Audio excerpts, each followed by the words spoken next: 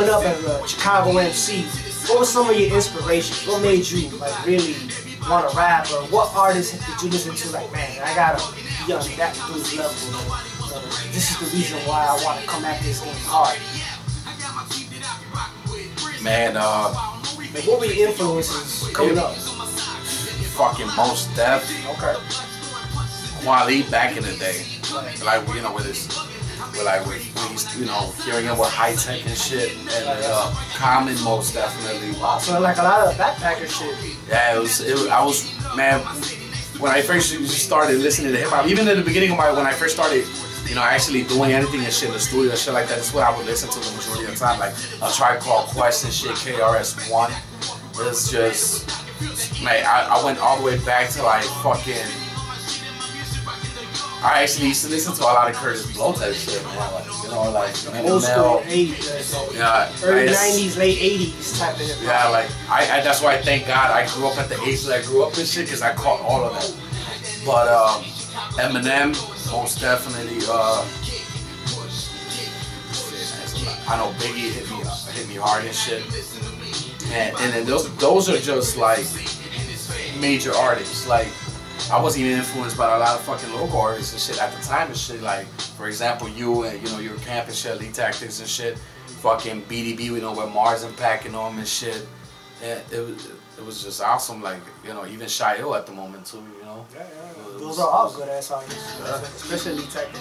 Uh, but anyways, um, if you could do a song with any artist right now, if God came down from heaven and said, "Look, man, I'm gonna hook you up with uh, a nice beat. Pick the artist of your choice to be on this one song, dead or alive. Who would you pick and why?"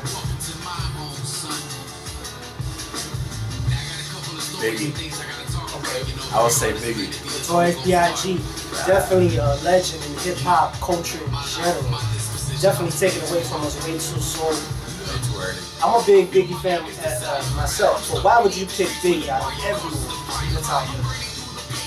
Because I, one thing I admired off of Biggie was his style, his aside of his flow. Yeah, it's you know it was just he was really fucking comfortable with it, you know, and, and the fact of how, how his rhyme scheme was, I found that amazing and shit. Like it was no A B A B A B type shit, you know. It was on some like A B C D D A B B, you know. It was all all, all over the place. Throw Y and Z in the mix up. Where the hell that came from? Yeah, you know, and it, I found that shit fucking dope. Like, I mean, look at who look who does it now. Eminem does that shit now. Eminem just fucking his rhyme scheme fucking ridiculous. Eminem is definitely a very talented artist. Uh, of a lot of different artists out there. Now, Faye, let me ask you another question. Man. I love asking questions. I, I like to make you think about these things, right? Being an upcoming underground artist, damn near indie right? Indie, indie on the way to maybe the mainstream. What are some of the pressures a young Hispanic male goes through with your rap artist? What are some of the pressures? What are some of the pros? What are some of the cons? Uh, That's a question. yeah, That's a question. That's a fucking Well, we'll, question. start, we'll start off easy. What are some of the things that people expect from MC Because how many how, how many mixtapes or albums have you dropped solo. Well, yeah, solo. Or, you know, solo and with other uh, artists. Like, just name I mean- which, which ones have been solos, which ones have been with other artists. Solo mix, solo mixtape, just one. That was the real recognized real uh, album, the PAZ one, of course. Other mixtapes that I did when I was with Storm Studios, right? I did two of them and shit. About damn time and I forgot what the fuck was the other one. So it's at least been at least like four or five different albums, solo. or- Around six. Around Six total. Yeah. Okay, so now when uh, someone who knows who MC Fare is knows that you've dropped six projects in solo with, uh, with other artists or other groups or whatever, what are the pressures? What are the expectations that somebody expects from you? perfection and uh, just continuing the I don't want to call it I don't want to call it a trend continuing to drop songs or tracks Consistency. because yeah the consistency of being real to myself and shit you know because I, I hear that a lot and compared to like you know everything you hear on the radio nowadays and shit. My shit's way You see uh, MC Fare in five years. What are the plans for MC Fare five years? Hopefully, if I get there, if I if I accept you know the fact of me getting there and I take it and I'm there at that moment, hopefully making a change. You know, like if you listen to like you know right now Ellie, luckily we now we got like Lupe Fiasco, you know, uh, J Cole, Kendrick Lamar, you know like These they- are all cats that are coming up mainstream, that are lyrical. they're lyrical, like hopefully make if, if not make a difference, still make somewhat of a difference that I'm still continuing with on to the, you know, maybe hopefully if it don't work in five years, maybe in 10, 15 years, you know, everybody's got some lyrical shit, you know, like it's like it's like us helping each other try to get that. And it might happen, I, I swear to God, everybody I talk to, like now you listen to the radio more, it's a bunch of huff. I don't listen to that. Nowadays, that's just coming out more lyrical, catchy ass lyrics, Kendrick Lamar, that's, that's a hot cat, J. Cole, all that, man. You know what I'm saying? Even other cats out there hear of, man, that are coming up little by little off of lyrics and not just because of a catchy beat. You know what I'm saying? So be on the lookout, man, because all that other shit, that popular music is gonna go right back to the white people or whatever. My bad, white people buy my CD, it's all good. But just saying, just saying, this hip hop gonna come back, gonna come back. So, any any last words, man? Anything that you want to tell them? What can they expect from MC Fare, man, after this project? Or, or where can they find you at if they want to, you know what I'm saying, holler at you?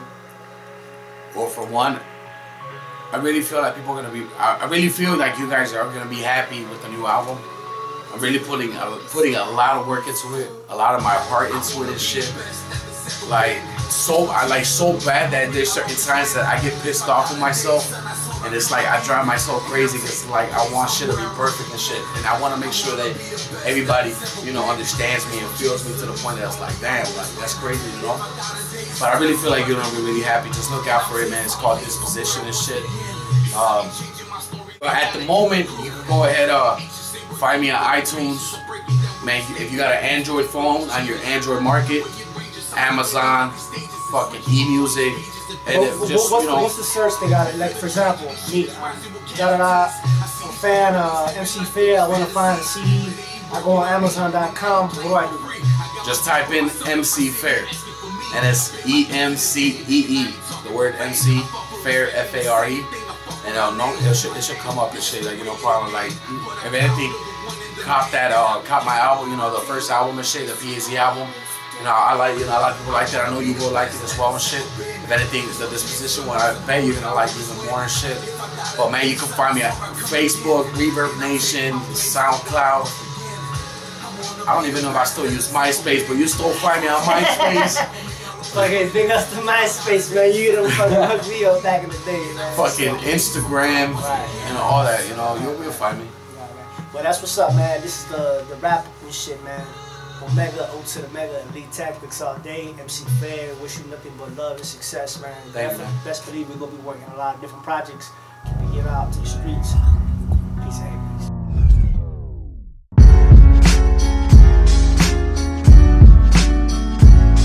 Yeah, uh, uh,